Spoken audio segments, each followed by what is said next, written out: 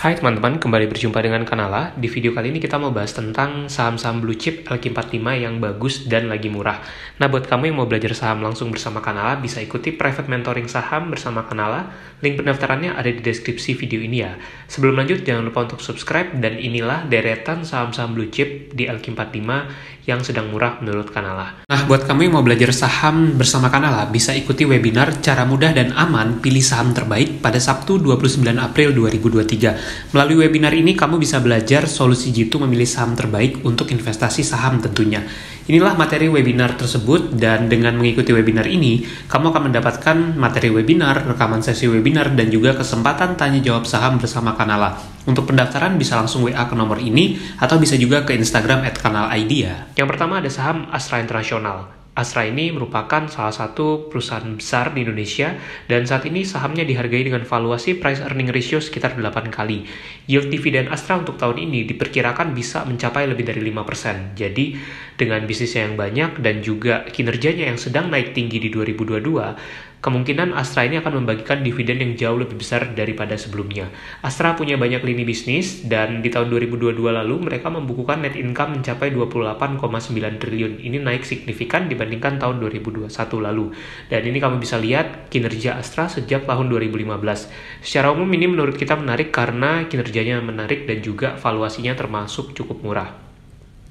Yang kedua dan ketiga ada saham dari saham batubara yaitu Adaro Energi dan ITMG. Saat ini valuasi saham Adaro itu price earning ratio sekitar dua kali. Hal ini dikarenakan pada tahun 2022 Adaro mengalami lonjakan laba bersih yang sangat signifikan yang membuat valuasi sahamnya saat ini menjadi begitu murah. Tapi tentu harus diingat bahwa ketika harga batubara misalnya turun, laba Adaro juga bisa ikut turun dan itu akan berdampak pada valuasi pernya yang bisa naik cukup signifikan.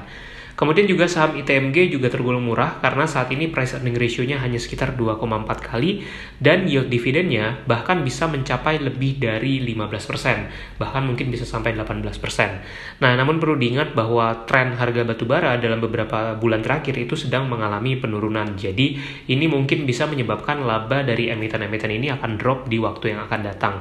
Namun secara umum menurut kita valuasi sahamnya tergolong cukup murah dengan valuasi price earning ratio sekitar 2 kali kali tadi. Yang keempat ada saham INKP, Indah Kiat Pulp and Paper. INKP ini merupakan perusahaan yang bergerak di bidang industri kertas. Mereka mempunyai produk-produk seperti kertas budaya, kemudian juga kertas kemasan, dan juga pulp tentunya. Saat ini, valuasi saham INKP price earning ratio-nya hanya sekitar 3,1 kali. Jadi dengan labanya yang naik signifikan juga di tahun 2022, valuasi sahamnya menjadi begitu murah saat ini. Price earning ratio hanya sekitar 3 kali. Dan di tahun 2022 lalu, INKP ini membukukan net income mencapai 857 juta US dollar lebih, sekitar mungkin 12 triliunan ya kalau kita rupiahkan. Dan kinerjanya juga masih terus bertumbuh. Yang kelima ada saham United Tractors, ini satu grup dengan Astra International tadi.